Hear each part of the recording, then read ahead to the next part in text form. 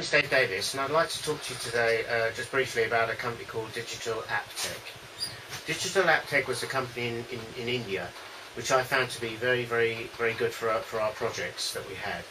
Um, we've been using it for some time now and I never knew that it was so refreshing to find a company uh, the other side of the globe in India that could actually be able to do the work that we, we wanted, not only for us, but it's almost as if they were part of us as well we found the caring part of them uh, absolutely unbelievable. We would, we'd been bombarded with emails and when we did any campaigns to say, look, you need to do this, you need to do that. It's almost as if they had a passion to making sure that we succeed. By us succeeding, we were able to actually then use them for more work. So I suppose that's that was the advantage for them is that they know that we they would get more work from us. But it was refreshing to find their customer service was excellent. The people that we spoke to were unbelievably helpful. Um, we found them to be very accommodating.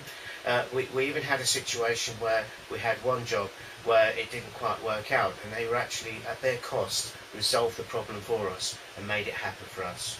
If you're going to use a company for your digital products and your services such as building websites, emails and things like that, use Digital Aptech. They are brilliant.